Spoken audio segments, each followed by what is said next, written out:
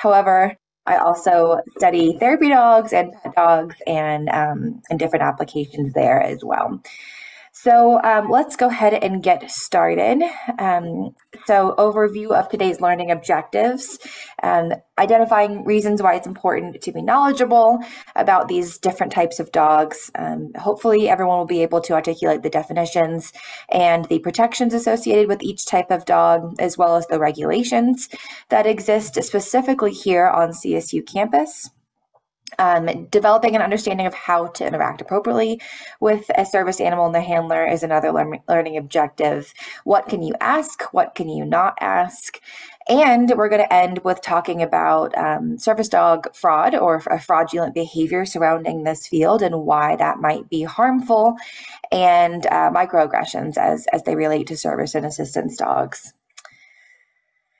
Okay, so uh, of course, it's not a secret that opportunities for dogs to work in specific roles to hum- to improve human health and well-being are rapidly increasing.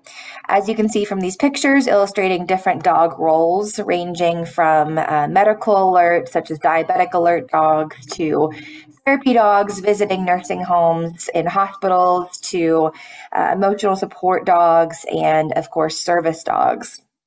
And it's important that mental health providers, disability advocates, and policymakers, and every member of the general public to be educated about the differences between these terms. Um, and the reason why this is important to understand really the differences between these terms um, in, in, in, the detailed ways is really a matter of equity inclusion for individuals with disabilities. Service dogs are a form of assistance that is imperative to individuals, and it's important to create an equitable work and school environment for them.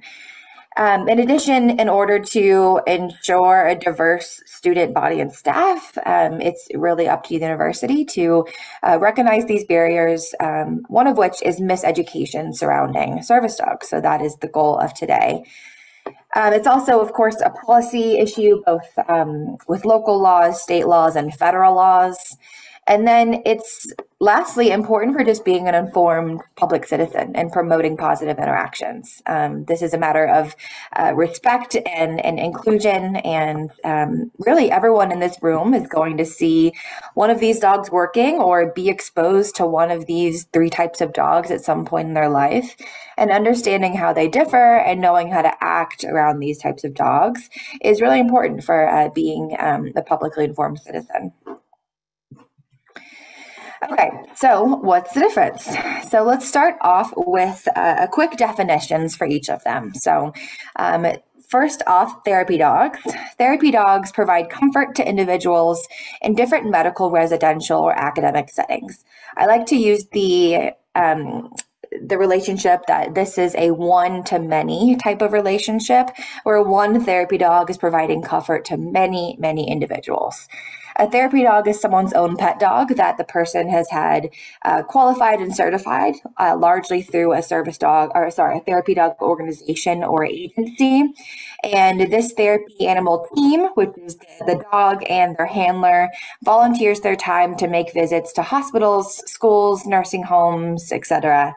Um, and uh, sometimes healthcare professionals, such as counselors, might be the handler of the therapy dog, where they're bringing their own pet dog in um, that has uh, selected and training for therapy dogs to come in to help them with their practice.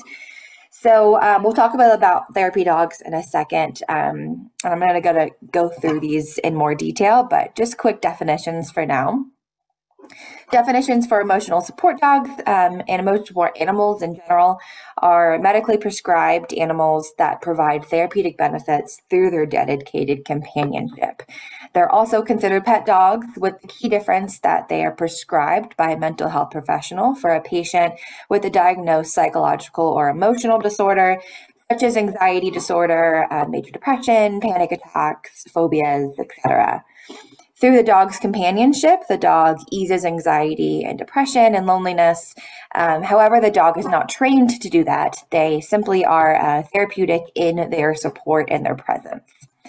And then service dogs. Um, service dogs are trained for specific work or tasks that help an individual with, a disability. So um, there's a really wide range of work and tasks that this could be. And some dogs are, of course, trained to lead a, a person with a vision impairment, some uh, to pick up dropped items, some to alert and respond to a seizure. There's a lot of applications here. Um, and, and, these dogs are uh, potentially the, the highest level of training when we consider the spectrum uh, of these types of dogs. Okay, so what is the difference? So I have this table here and I thought that we would just kind of go through it. Usually I do this in person and we're able to um, like raise our hands and, and vote and, and be more interactive, but um, I didn't quite set up the polling features today. So what I'm going to do is um, just kind of pause at each one and I would love you guys to just kind of check your own knowledge um, and see what you think, and then I'll show the correct answer. Um, hopefully, you're right, and if not, um, I hope that you learned something today. Um, I find that even if someone thinks that they definitely are able to do this table um, and they know all the differences, that they still will learn something. Um, in fact, I still continue to be educated uh, myself on on different issues, as well as policies always changing, um, and and and things are always changing. So. Um, okay, so first one probably is the easiest. Who of these three types of animals um, has full public access into restaurants and stores? So I'll give a second to think about that. Okay, so if you said only service dogs, you're correct. Um, so service dogs are protected under the Americans with Disabilities Act, which is a federal law that allows individuals with disabilities to have reasonable accommodations in public. The service dog um, is one of those assistive aids that is allowed anywhere that the handler is allowed. Um, so public access spaces here, um, including restaurants, um, public transportation, uh, stores, etc. Okay, next one, who can travel on commercial airlines? This one um, is one of those ones that I was saying is, is, is always changing. Okay, so, emotional support and service are correct. Um, however, I would love to kind of go over how things have been working in this space. So, everyone knows the story of the emotional support peacocks and the emotional support um, alligators and um, all of the, the drama surrounding that. Um, and if you're not aware, all of those rules changed. Um, the Department of um, uh, Justice is the one that is involved in these kind of uh, airline rules, which is um, what governs the, the space up in airplanes, which is different than the public space on the ground. Um, and so in December 2020, they uh, proposed these new guidelines, which went into effect in early 2021. And the rules are now that uh, service dogs are still protected on flights. They can still uh, travel um, free of cost with their handler, but emotional support animals can only be dogs or cats now. So um, really uh, just those two species, and it's up to individual airlines to um, state whether or not they will allow those dogs and cats to fly as emotional support animals, um, or if they are just allowing pets um, under a certain weight to be flying. So, um, as of now, um, to my best knowledge, uh, the the major airlines that we all uh, tend to fly on, United, American, Delta, um, Southwest, Frontier, um, all do not allow emotional support animals anymore. Um, there are some airlines that still do. I don't think this list is exhaustive by any means. I just put in there four airlines that I know do still allow um, emotional support animals with regulations. So I put an asterisk there because it depends on the airline. Um, the laws that govern this is called the Air Carrier Access Act. I'm sorry, I have a question about this. Sure. Um, so, is this mean that people can travel with these animals without charge, or is it the idea that because I know that there are some airlines that you can pay money for non therapy service or emotional support animals to ride on. Yes, exactly. Great question. Um, so, yeah, pets have always been able to fly if they're under a certain weight. So, you can bring your small dog or your cat on a flight with a charge. Um, so, that's always been the case, and that's still the case. Um, the emotional support animals and the service animals um, are not charged, and that is because of disability access, right? Um, it's a reasonable accommodation that they need to have with them. And that was what was happening in the field was, you know, I have this emotional support animal with me. I'm not paying, you know, a fee um, for them to fly with me. So yeah, the the ones in green are airlines that are still recognizing that emotional support animals um, are are necessary to be with their handler um, and not charged to be with their handler. Um, however, all of the ones in red um, now are just, you know, back to service dogs can still fly with their handler um, without being charged, and pets can still fly with a charge if they're under a certain weight. Does that help make sense? Yeah, thank you so much. Yeah. Okay, who can live in housing that does not allow pets? So this one is motor support and service as well. Um, this is governed by the Fair Housing Act, uh, the Equal Housing Opportunity, uh, which allows emotional support animals to live with their handlers in um, in areas that otherwise would not allow pets. Um, so no pets housing, uh, emotional support animals can live there as well as service animals as well. We'll talk about a little bit about that later about how that translates to campus. Okay, my favorite one to talk about. Um, who must be registered or certified? Service and therapy. Oh, sorry, I'm unmuted. Oh. No, I would love it. I'm down for people to shout it out. Um, actually, no, uh, service dogs are not registered or certified. Neither really emotional support animals. Um, the only ones that uh, do this are therapy animals, but I put an asterisk here um, because it's not a federal law. It's just a, a recognized, uh, supported thing that we that we certify therapy animals. So why is that? So let's talk about therapy animals first. So um, there are a lot of organizations that uh, certify therapy animals. There's a lot of national organizations that do this countrywide. Um, Pet Partners has 11,000 uh, therapy animal teams, I believe.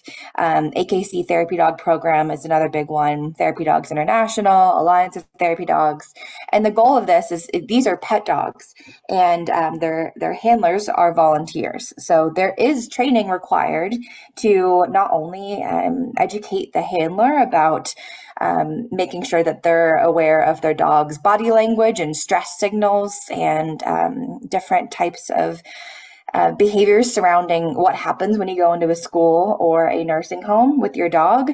Um, but there also needs to be some sort of um, liability in place where we're, we're testing essentially that the therapy dog is um, not uh, jumping or has an aggression or is um, basically are they appropriate to visit some of these areas. So we tend to do um, certifications with therapy dogs um, for for these reasons. Um, I highlighted the international or sorry, the national ones here, but in every state and city, there's always local organizations that certify therapy dogs. Um, of course, I'm from HABIC, which, if you are not aware, is the campus um, nonprofit organization that certifies therapy dogs. I'll talk about us in a second, um, but there's also a couple others like Colorado Comfort Canines and uh, Professional Therapy Dogs of Colorado. So you go through training as a person and as a dog, um, as a team, um, and then you, you get certified. Very importantly, not just dogs can be therapy animals. This is the same for therapy cats and therapy guinea pigs and therapy animals of all shapes and sizes. They all um, tend to get certified with these organizations. Okay, so emotional support and service animals um, unfortunately, uh, it, it, would be nice if we had a national registry of of this, but uh, we don't. So um, there is no official database or registry of service animals, um, and service dog owners are not required to ever get any type of certificate, and businesses are not allowed. Uh, allowed to ask for one. Similarly, there is no centralized test or certification process um, for service animals Um, unfortunately, fake service dog registries do exist, and many pet owners fall victim to um, these, believing that they um, need to certify their service dog um, as a federal guideline. Um, and although there are numerous websites offering to certify or register service dogs um, or emotional support dogs for a very hefty price, these services are not required under the Americans with Disabilities Act. Um, and so getting a certificate or a, a, vest or an ID card does not make a dog a service dog. Um, however, I want to point out that not all of these registries are fraudulent scams. Some of these have very well meaning intentions um, where they're trying to solve this problem of fake service dogs. But unfortunately, it's very hard for the average person to figure out which of these um, these uh, registrations that really look and sound identical to each other are well meaning and which will be taking their money. So um, it's a big problem. Um, and what you'll see is when you, you go to these websites, um, you can you can pay for this registration package, um, which is, is discounted from 150. Now it's only $109 um, and you can even add on i need a, i need a letter with this as well. So um, unfortunately this is just a matter of education. Um, people don't know that they don't need this um, and they don't know where to find the resources to help them um, if they do want to train their own service dog. What does that entail? What does it uh, require to to make my pet into a service dog? Um, and, and it does not require buying this registration package um, so happy to talk about that um, either now or, or later. Um, but that is probably the, the biggest one that has public misconception. Along with that, you know, we just talked about these ID cards, um, and really there's no um, federal law um, that requires any service or emotional support dog like when they're actually um, in public to uh, carry identification. Um, I have an asterisk here for therapy dogs because a lot of our therapy dogs do. This is because they're entering places like hospitals, and it's really helpful for the hospital and nursing home to know that they have um, access there and that they're part of an organization. So you'll a lot of times see little name tags on these dogs. Um, however, it's not a requirement for service dogs to have this. However, I'm not saying that this is not helpful. Um, of course, a lot of the veterans that I study um, carry ID cards with them that say, you know, hi, I'm a service dog. What do I do? And you know some some questions and answers. And when they get questions about their service dog it's so helpful to be able to say you know right now he's working and i really just want to you know buy my groceries but here's a card explaining what he is and and what he does for me. Um, so those cards are really helpful for a lot of people um, and they're helpful for a lot of different reasons. Um, sometimes for example um, having information on the dog about um, the person's medical condition or what to do in case of an emergency is really helpful. Um, but what I'm saying here is that according to the law, you do not need to carry identification. Uh, who must wear a vest when working? So I'll give everyone a second to think about that. All right, the answer is no one. Um, however, of course, most handlers choose to have an identifying harness or vest on their dogs um, for service dogs to alert the public that they're working. Um, however, according to the law, no service dog is ever required to wear anything. So even if a service dog is not wearing a vest or a harness, it does not mean that they are not a real service dog. There's um, some handlers that do not um, have a vest. Um, this is, you know, an equity issue. Um, however, um, I would say 99% of, of service animals do like to have something identifying on, which is very helpful to uh, individuals to alert that they're working. Um, our therapy dogs sometimes wear vests, sometimes wear bandanas, um, something to identify that uh, they can be pet, um, and, and, no sort of vests um, are required for emotional support animals, for example, when they are flying. So, um, not required by law, but sometimes still very helpful. Um, who must be professionally trained? Um, and I'm referring to this as um, needing to be trained by a dog trainer with a certain title or certification. Okay. So the answer is not any of the categories. It might be surprising. So, um, uh, like as I mentioned, therapy dogs are, are, usually pet dogs that are being volunteered with their time. Um, they do have to be trained for obedience and they have to be screened for not being aggressive or not uh, jumping up on people, but um, their owner can do that uh, training very easily. Uh, here at HABIC, um, we help pet owners uh, train their therapy dogs uh, as part of our program. Uh, emotional support dogs are, are, not trained for any tasks, so that one is a no. And then service dogs, um, a lot of times are trained by nonprofit organizations, which have dog trainers on staff. Um, these nonprofit organizations uh, place service dogs free of cost to individuals. Um, some organizations might require the individual to fundraise the cost, um, and there's some private service dog trainer options as well. But importantly, service dogs can be self trained. Um, you can uh, have a pet dog that you want to train as a service dog, um, and that is still a very valid avenue. Um, that is really important for uh, access. And so it's um, imagine someone who doesn't have the funds um, to be able to hire someone to to train or um, uh, doesn't want to wait on a wait list for several years to get a service dog, it's important to have an option that someone could train their own pet dog.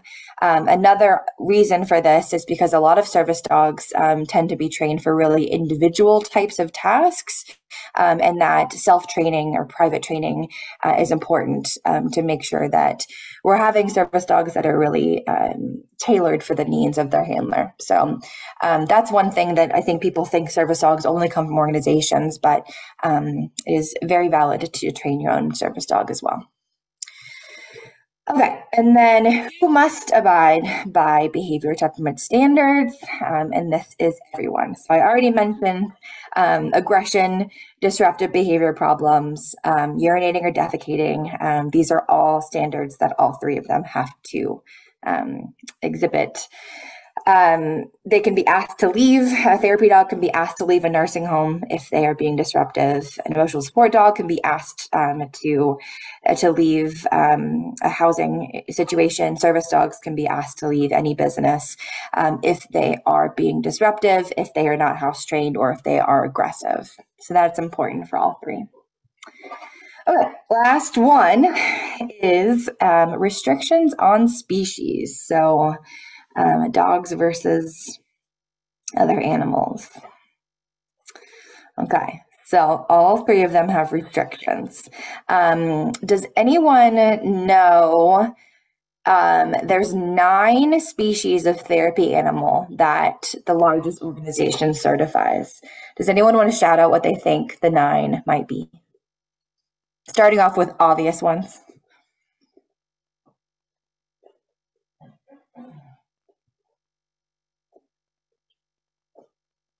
Okay, no one. Or put Carrie, in the in the chat, I see oh, there's some responses coming in. There's let's see, mini horse, pit bull, ferret, yep. bird, dogs, cats, rabbits, guinea pigs. Yeah, yeah. I love the guinea pigs. Ponies, rats, snakes, lizards, horses, goats, yeah, we've gotten, I think, eight out of the nine, but there's still one that no one has said so far. And it's the one that I think it's pretty rare, but it's it's emerging. Um, so I'll just tell you guys what it is. It is, hold on, let me get rid of the chat. Okay. Uh, cat, dog, bird, guinea pig, rat, rabbit, pig, horses, and then the one that no one got was llama slash alpaca. Um, I think alpaca is the one that really is the the, the most prominent here. Llamas um, can be a little aggressive, as you guys know, um, and they're not very frequent, but they are one of the nine species that Pet Partners registers. So you learn something new every day. By far, dogs are the most popular, followed by cats, and then uh, of course we have a lot of amazing therapy horses as well. Um, importantly, um, Partners, for example, is, is what I'm using. Um, they're the largest um, uh, registry of, of therapy animals in the country with that 11,000 number. Um, they have a hard no on any exotic animals um, and reptiles, including snakes um, and lizards and, and ferrets, as well as farm animals, uh, including chickens, ducks, and goats, due to um, diseases that they might carry with the, the lizards and reptiles. I think that's the, the biggest concern, but I'm not sure about that I'm not really a lizard person, but one of the biggest reason is because we can't really evaluate their predictability and reaction to stress. Um, so that's really important. We have to make sure that the animal is, um, of course, not experiencing any stress and that we are uh, training the handler in looking for stress signals and um, indicators that the animal is not consenting to the interaction or is not enjoying the interaction. And it's very hard to do that with um, animals that we don't have uh, good uh, physical indicators of their stress. Um, so that is the reason why those animals are not uh, registered and certified.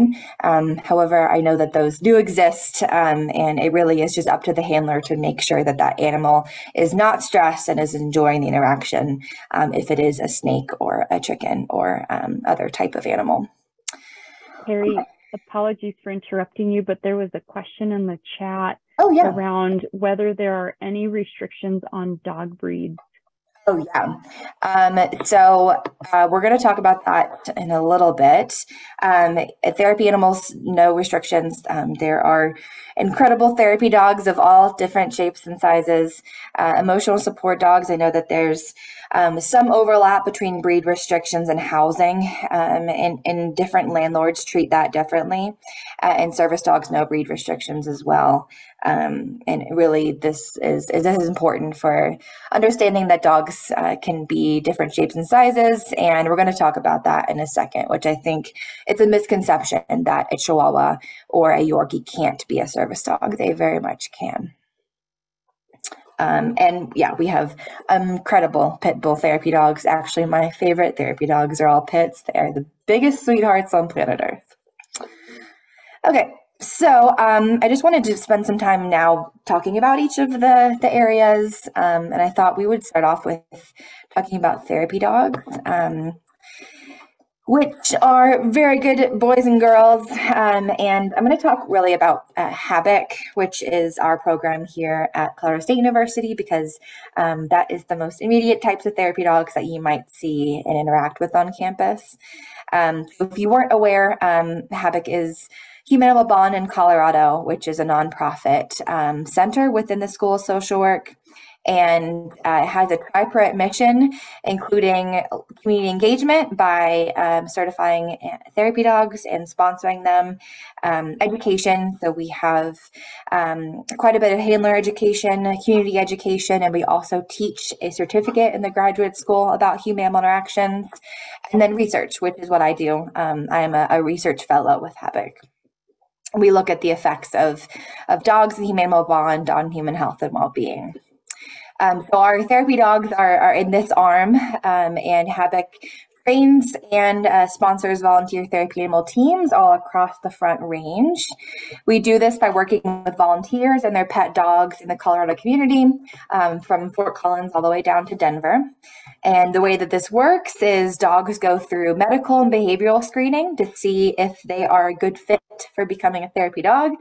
Um, we then work with them one on one over the course of 12 weeks um, to do that obedience training and uh, different types of training that are really helpful for being a therapy dog.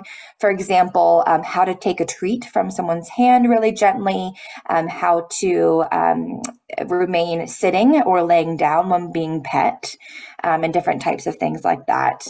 Um, finally, after the team goes through training, um, they go through their uh, evaluation, which is um, uh, done in person, where we kind of just make sure that the dog is sound on all of uh, these things not jumping, barking, um, not having an aggression towards other dogs or people, um, and, uh, and, different types of things like that.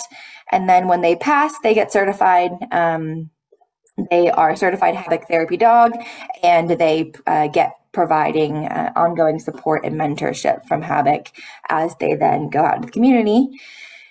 And um, really importantly, um, we certify all different types of breeds, any shape, size, and color. Um, and we also certify cats.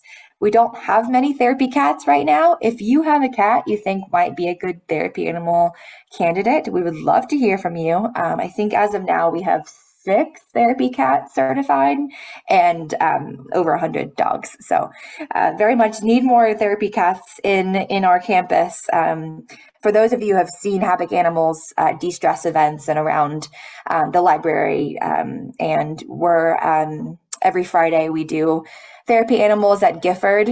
Every once in a while we have one of our therapy cats and they are a humongous hit. Um, it's it's really fun to see people interact with therapy cats, um, especially cat people that really, you know, miss their own cat at home and, and really just want to, to pet interact with the cat. So um, just a shout out for our incredible therapy cats. Um, and really the requirement for being a therapy animal is um, not only for HABIC, but for all is, is loving people um, so really um, interacting with uh, different types of people from all different backgrounds and, and really enjoying those interactions, um, as well as coming into new places like a hospital or a nursing home or a library and being um, really calm and, and not stressed, no reactivity or fear, um, and, and, really just wanting to be pet. So um, if you have a dog that you are interested in, uh, we would love to hear from you.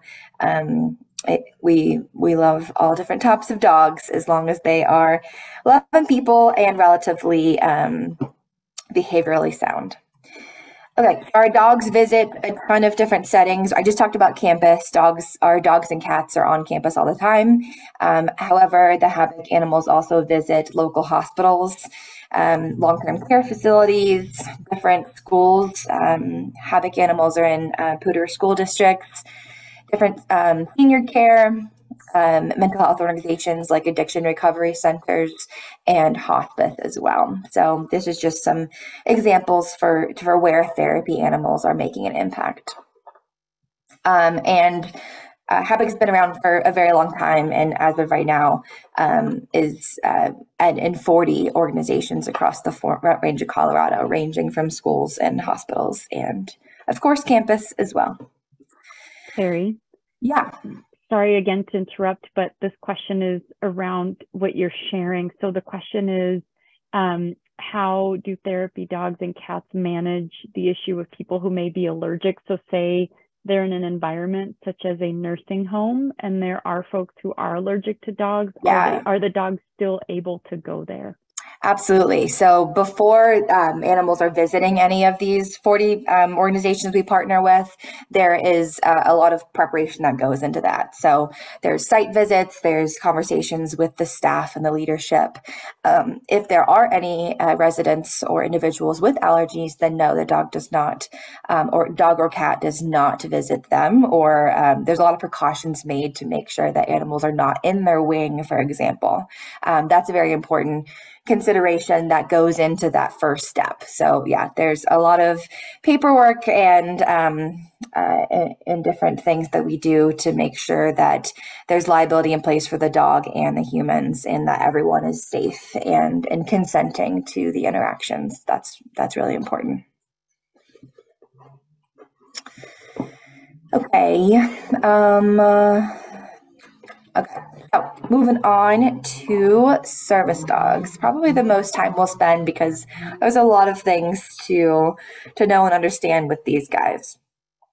So um, all different types of service animals um, in the United States, we also call them assistance animals. Um, and uh, you might be most familiar with guide dogs that help people with vision impairments. These dogs typically wear a special harness with a handle um, rather than a vest uh, for their handler to grasp while they're walking. Uh, hearing dogs are another type of dog um, that can be trained with people with hearing impairments.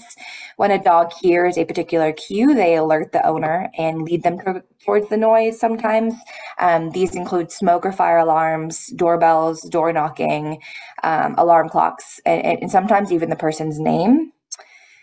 Mobility types of service dogs help individuals with physical disabilities, and they perform everyday tasks um, such as retrieving objects, uh, opening doors, um, turning on and off lights. Um, these individuals can also provide stability for individuals who struggle with balance. Um, so, for those individuals who um, need extra support in standing or sitting um, or bracing, they can use the dog for support as well. We have a whole category of medical service dogs. Um, some examples of this are seizure response service dogs that can assist individuals before, during, and after a seizure, um, as well as diabetic alert dogs who can alert their handler to low or high blood sugar. Um, medical service dogs can also be trained to retrieve certain medication or get help in a certain event. And then psychiatric service dogs. Um, these are helped to train individuals with a disability that we call invisible um, and is a mental disorder rather than physical. Um, so the probably the two biggest applications of this are service dogs that are trained to help uh, military veterans with PTSD, where they can alert to respond to anxiety episodes, help create public space in crowds, wake up from a nightmare, etc. And then another popular psychiatric service dog are autism service dogs, which are trained to help uh, children or adolescents with autism by applying deep pressure, um, sleeping with them, uh, helping to interrupt repetitive behaviors, and providing service in public as well. Um, and I'm sure I missed uh, some type of dog here. I, they're really expanding as we get to know more about um, how we can train dogs to do certain things and how good dogs' noses are. Um, that's that's been something that's really exploded in the diabetic alert and seizure response community. Um, however, what the, the take-home message is that there are a lot of different things that a dog can be trained to do. Carrie, one particular question around what service dogs can do that came mm-hmm. in the chat came through was um, can service dogs serve individuals with heart conditions? Um, oh, I do not know. I have not heard of that. But like I said, I think that the opportunities for training dogs to do certain tasks are just continuing to expand. I would imagine that they could, like I said, retrieve medication or retrieve help are two of the things that come to mind there.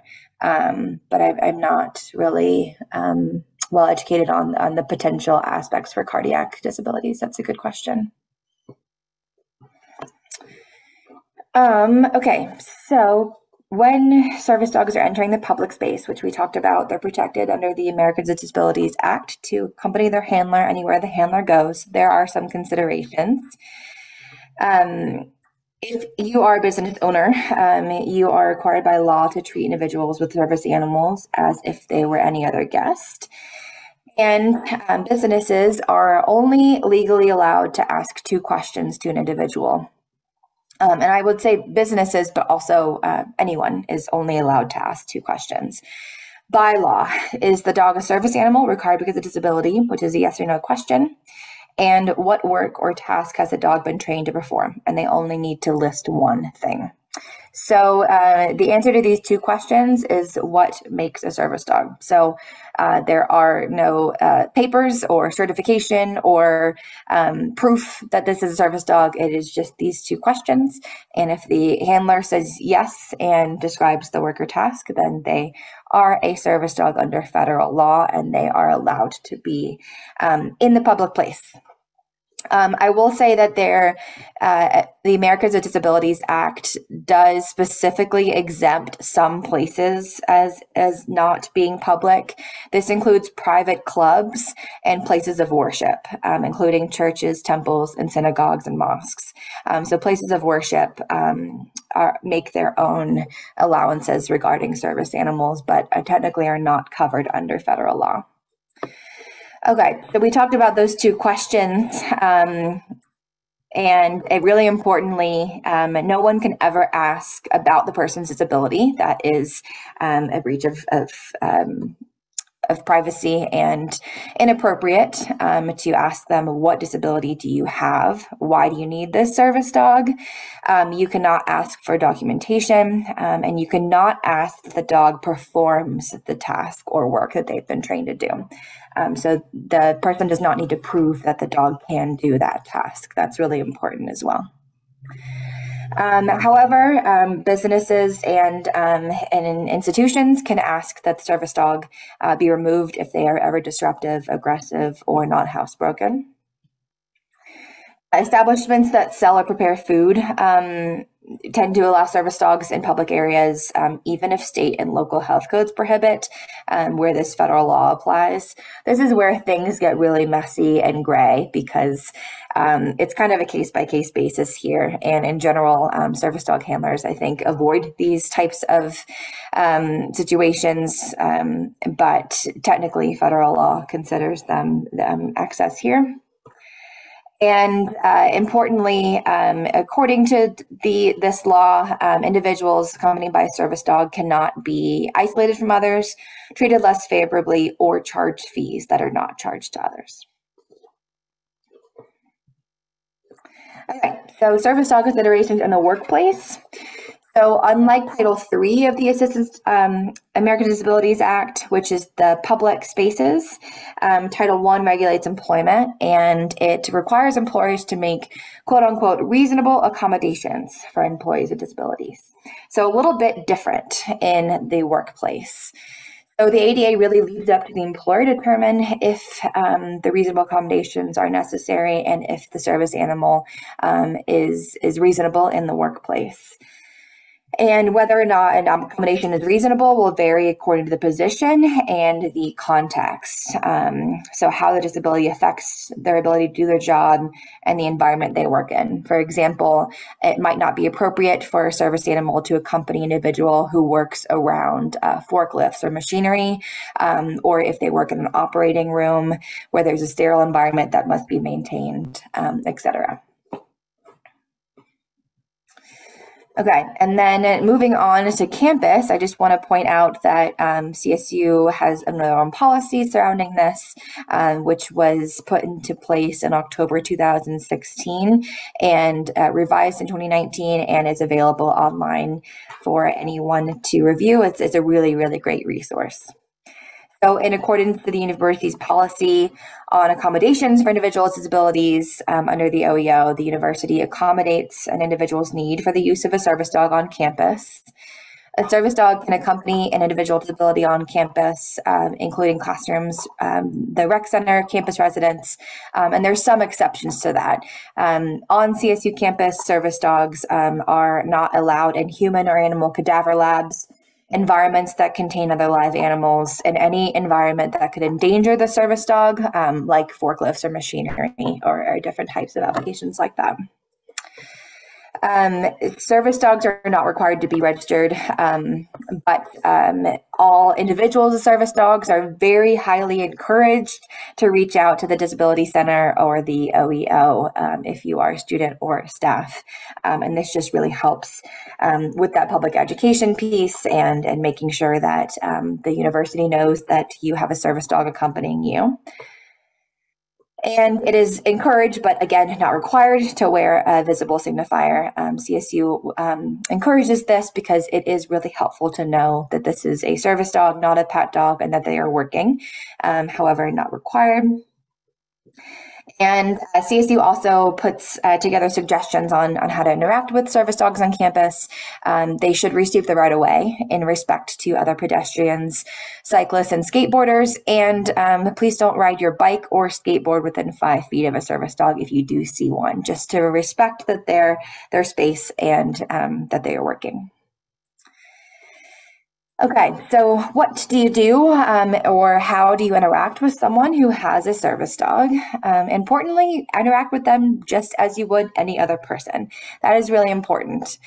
Um, one thing that is probably the most common um, etiquette issue is is speak to the handler, not the dog. So make eye contact with the handler um, and directly speak to them. Um, it, it, tends to be um, a little abrasive and inappropriate when you immediately um, are talking to the dog, which leads to also you should not talk to the dog uh, to distract them at all. So when they are working, um, it's important that they are allowed to work without distractions, including um, not touching, talking to, or feeding. Um, sometimes a handler will say, you know, you can pet my dog. If they allow that, you can do that. But um, always don't assume that that is the case. Um, if they're far away, refrain from staring or pointing or taking pictures. This is really, really hard, especially for children and, um, you know, even uh, the average person. You see this beautiful service dog, you want to look at them, you want to, um, you know, pay attention to them. However, um, that's not great for the handler. Um, a lot of my veterans that I work with, with PTSD service dogs, um, when I ask them what's the drawbacks of having a service dog. It's the stares and the points. And um, for their disability, which is um, post traumatic stress, which has a range of implications for how comfortable and uncomfortable they feel in public, um, being stared at and pointed at, and especially um, children um, pointing at them and, and yelling, like, look at that dog, really um, adds to their anxiety and is a, a big trigger and a problem for them. So um, it's important to to know how to interact with us, and then also to educate your children and your peers about um, about how to interact with a, a service dog from a distance. Importantly, if you have your own dog, do not allow it to approach a working service dog. And um, there's a, a microaggressions that I think that we need to be aware of. Sometimes these are made out of, um, you know, uh, positive feelings and implications. They're they're not being said to hurt uh, the handler's feelings or to be inappropriate. Um, they're often out of, uh, you know, a very genuine place. However, it's important for us to step back and think about how that could be a microaggression. Um, saying things like, um, you know, I'm not supposed to pet your dog, but oh my gosh, your dog is so cute. And especially things like, oh, I wish I could bring my dog places with me. Um, sometimes dogs uh, in working roles wear special uh, foot protection to protect their paws. And saying things like, oh my gosh, look how adorable his little shoes are. Um, all of those things tend to undermine the really important role that these dogs are playing for individuals. Um, and th- the issue here is that for handlers, their service dogs is not a fun thing um, or, you know, an accessory.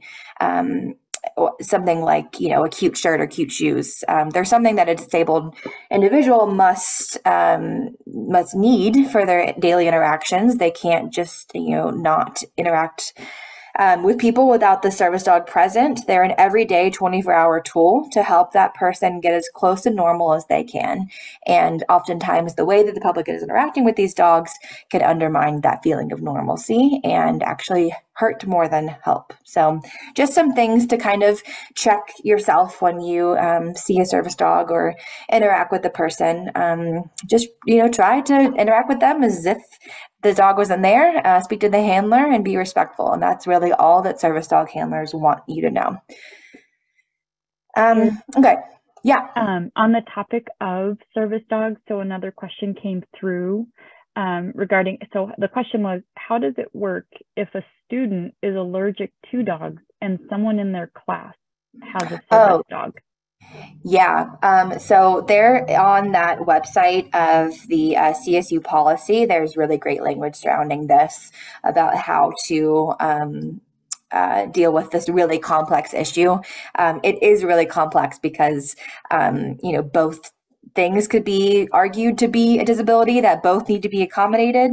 Um, and so there's some language and guidance on, on how to do that. Um, and I'm certainly not an expert in that uh, that legal uh, language or that uh, formal guidance, but I do know that there are systems in place to minimize the overlap between those two things. So, um, ideally, you know, you would uh, maybe put them in different sections: the service dog handler and the individual with the severe allergies, um, or um, you know, do as much as you can to minimize that overlap to protect both individuals um, and, and not prioritize one condition over the other but it is definitely hard, especially because dog allergies uh, to dander can be really severe.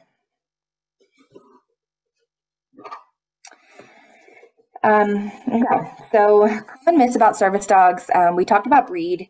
Um, and myth is that only certain breeds can be trained as service dogs. And if you see a small service dog breed, um, it's likely fake. And this is false.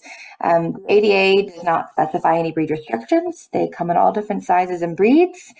Um, and importantly, the service dog size should just be appropriate to the task they're being trained to perform. So, for example, um, a small dog might be appropriate for hearing assistance or for blood sugar detection, um, but will be inadequate to pull a wheelchair and to turn on and off lights, for example.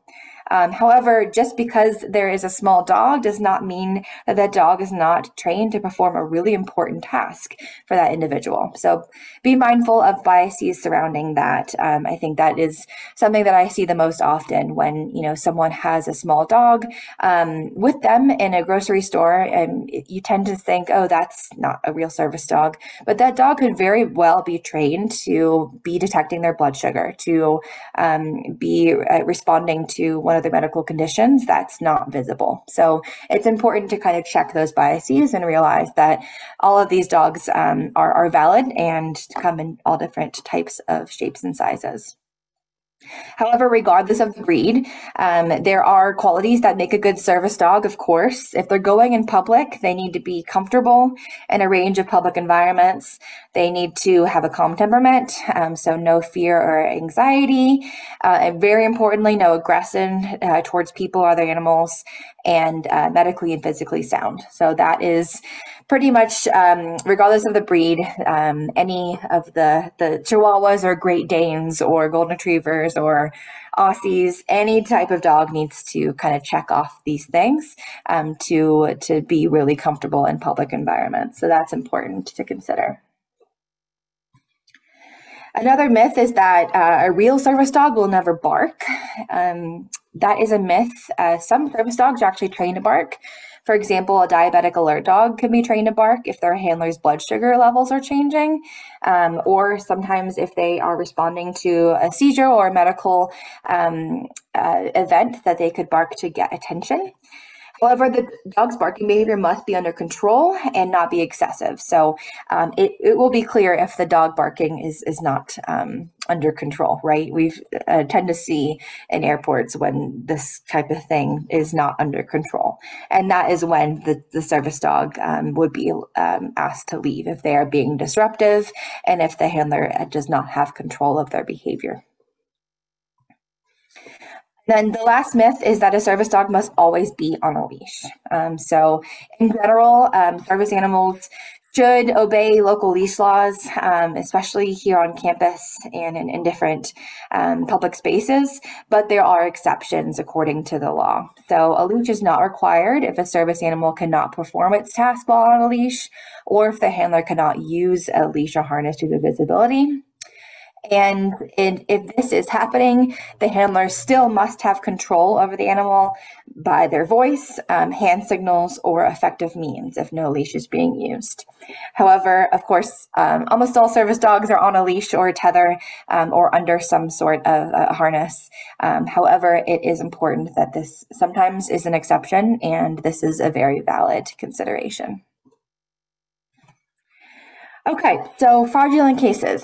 Um, so I'm talking about local laws because we're in Colorado. Um, this is the, the case for many states as well. Um, it's a crime to intentionally misrepresent an assistance or emotional support animal, to avoid pet fees, or to have an animal in housing that otherwise does not allow animals. Um, it's also a crime to falsely impersonate an individual with a disability.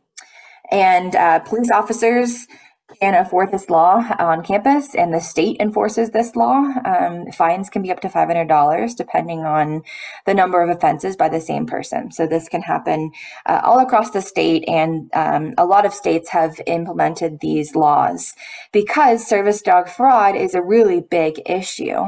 Um, and mainly because um, trying to you know pass your pet off as a service animal has implications on the both um, the policy and the human side but also on for the dog itself. So on the um, the policy side um, having you know what we call fake service dogs or you know pet dogs that are being passed off as a service animal but aren't can hurt the reputation of service animals that are actually needed and also the acceptance and validity of service dogs for people with individual um, disorders, especially those invisible disabilities where the person might look um, like they don't have a disability on the outside, but they do. And it's really important that we try to minimize this so that people that do need service dogs are respected and given um, the, the accommodations that they need in public.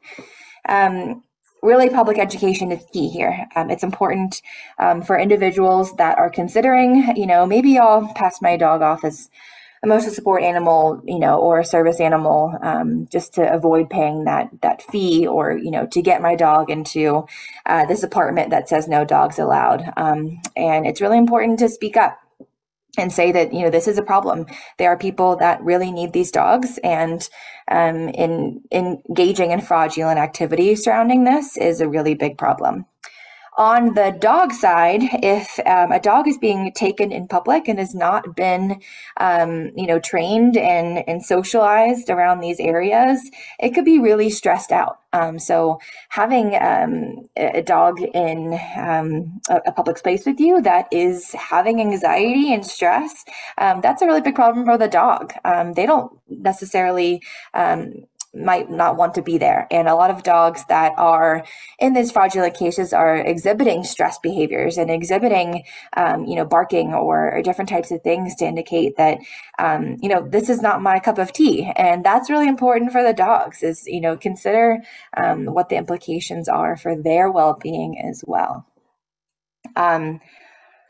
And I just wanted to mention that uh, this is a class two petty offense in Colorado state law, but it is more serious in other um, types of in uh, state environments. In California, for example, um, it's a really serious law with um, fines up to a thousand dollars and actual like three months of jail time as well. Okay, so um, why is this important? Um, so I just wanted to highlight some research that has been done around this area. Um, there was a study done in, in 2017 where um, a large sample of service dog handlers were recruited of all different types of disabilities and, and service dog types, um, so both visible um, and invisible and um, they asked them, you know, um, in an average day, um, how often and how uh, how much do you agree with these things happening? Um, so, uh, for example, um, sometimes the legitimacy or need of my service dog in public is questioned by others um, across the board. That was tended to be really strongly endorsed, um, and, and, this is something that that fraudulent cases are, are contributing to. Um, it, there should not be this question for those who do really need their service dogs. Um, for example, another question is how often are you asked inappropriate questions when using your service dog in public, such as what is your disability or can I see your paperwork? Uh, a majority of people say that this happens sometimes or often. So this is why public education is so critical for these individuals. Um, one really important thing that this paper found is that um, service dog handlers with invisible invisible disabilities, um, which we talked about, are things that, that might not be really obvious. Um, you know, they're not maybe in a wheelchair or holding a cane, but they still have a disability and their dog is still incredibly important for them. Um, they are more likely to experience discrimination and more likely to be questioned about the legitimacy of their service dog than people with a visible disability. And um, that is a big drawback. Um, and in some cases, people said that the negative social effects of having a service dog and being questioned if they're real and you know having these invasive questions of what's wrong with you why do you need that dog um, can actually sometimes outweigh the benefits of having that assistive um, technology in public. So it's it's important we step up as a community as a campus and um, to give these individuals uh, the respect that they need. Um, and this study really highlights the importance of that Okay, and then just at the end, I wanted to just highlight some uh, policies surrounding emotional support animals. Um, so remember that these are pet dogs um, that are uh, medically prescribed to provide therapeutic benefits through dedicated companionship. Um, and while we talked about how on airlines we tend to just do dogs and cats now, uh, importantly in housing situations, um, there are still a variety of emotional support animals.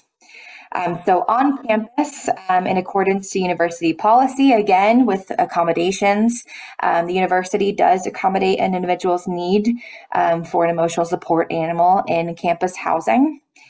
Uh, CSU defines an emotional support animal as any commonly domesticated animal that provides emotional support or comfort to a person with disability. So, um, can be animals other than dogs or cats. Um, the requirements really are that the animal, whatever uh, species it is, can be safely kept, is not vicious, dangerous, or wild, and is legal to possess. Um, and uh, importantly, emotional support animals are only permitted to live with individuals on university owned housing units, um, and they do not have the access rights that service dogs do. So they can live in university housing, however, they are not allowed to accompany that individual to places like the dining hall or to classrooms. Um, other considerations um, students that request an emotional support animal for on camping housing must seek approval. So, this is different than the service animals where it's not required by law. Um, this is required. Um, you have to seek accommodation um, through the Disability Center to um, have the emotional support animal in housing. Um, and you have to um, have a mental health professional be able to uh, derive an identifiable relationship between the disability and the support that the animal provides. Um, so, whether that is anxiety relief, um, help with phobias, help with different types of stress, um, and that's really important to provide. Um, however, there's no hard and fast rules here, and like a lot of emotional support, uh, cases. It's kind of just on a case by case basis. And um, the, the short answer is, you know, it depends. Um, landlords have uh, a lot of case by case bases. Um, universities also um, really case by case where um, there might be situations that don't fit into like an over encompassing rule. Um, and the requests have to be supported by a medical professional who has an established relationship with the individual, so has seen them uh, many times over the course of time, ideally. And that can be, you know, anything from a medical doctor, uh, a mental health provider, um, or other qualified professional. Um, and importantly, those certificates and, and ID cards that can be purchased online and those letters that can be purchased online are not valid. And I uh, just wanted to point out that um, the CSU Health Network has a statement on their website that they typically do not conduct um, evaluations for emotional support animals um, due to a variety of reasons. I encourage you to read their statements on this, um, where it basically is um, a matter of expertise. They don't have the expertise to really be able to um, say that this emotional support animal is needed or not. That that really um, is up to um, different types of professionals like forensic psychiatrists um, and individuals in which the the student has an established relationship with over time. So maybe um, in their hometown, an individual that has been seen by one specific counselor, that is who um, should be making this documentation.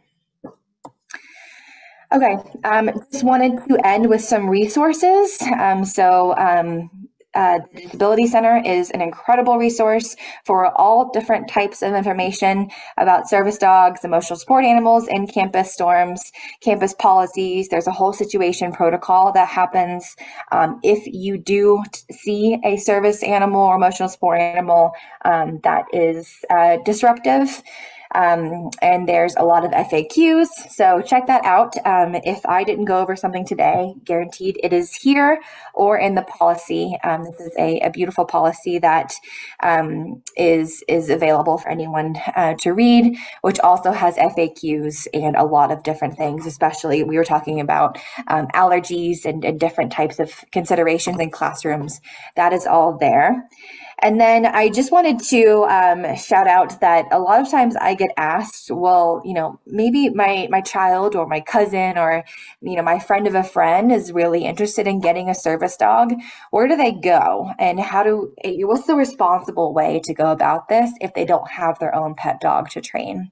Um, and I just wanted to uh, put a plug out there for you know it's a, it's a buyer's beware market for consumers looking for reputable assistance dog programs. There are unfortunately um, scams out there, which are, really, really unfortunate um, because it's it's really hard when you Google this to find you know what is a scam and what's real. Um, so, just wanted to um, suggest that um, finding an ADI accredited member program is always a really great avenue to go. So this is Assistance Dog International. They are kind of the, the governing agency of, of assistance dogs across the entire world, where um, if you are working with an ADI accredited program, consumers can ensure that the program is meeting the highest standards in the field. Um, so not only in their training and selection for their dogs, but um, their treatment of clients and ethical business practices uh, and so on. So um, ADI accredited programs have defined service areas like geographic locations uh, based on their ability to provide support for their clients. So this is always a great place to start is to um, see what local ADI um, affiliated programs are in your state or in your region and to reach out to them. Um, the biggest drawback, though, is that there are wait lists, and unfortunately, wait lists are long in this field. And uh, again, it's important um, I do a lot of research in this area. It's important that we get more resources to them because, uh, unfortunately, there are way too many applicants for the number of dogs and the, and the amount of money that these organizations are able to fundraise and sustain from donations.